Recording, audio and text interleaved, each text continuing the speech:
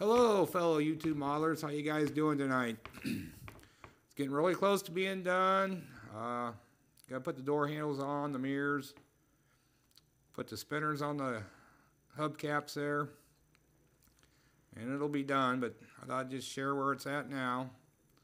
I see I got a few little touch-ups on the chrome to do with the Molotow pen. Not too bad though. Uh, it's been a fun build.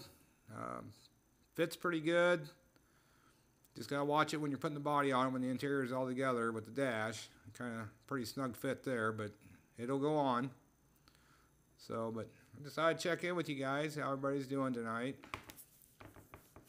I don't know what I'm gonna start on next for a car. I gotta get on that Waltz car, so that'll be the next main project.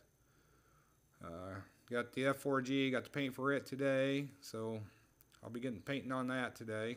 I'm gonna be trying uh, Vallejo paints. Never used them before, so gonna give them a try. But yeah, besides the few pieces of chrome yet and a couple decals, this one will be done by tomorrow. So everybody have a great weekend or what great night, and we'll talk to you later. Take care. Bye.